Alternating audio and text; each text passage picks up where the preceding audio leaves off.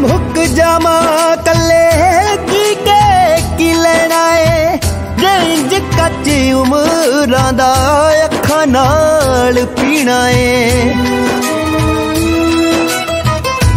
ਹਿਜਰਾਂ ਦਾ ਕਰ ਬੁਰਾ ਜਿਹੜਾ ਦਿਲ ਦਾ ਮਾਸ ਨਾ ਖਾਵੇ।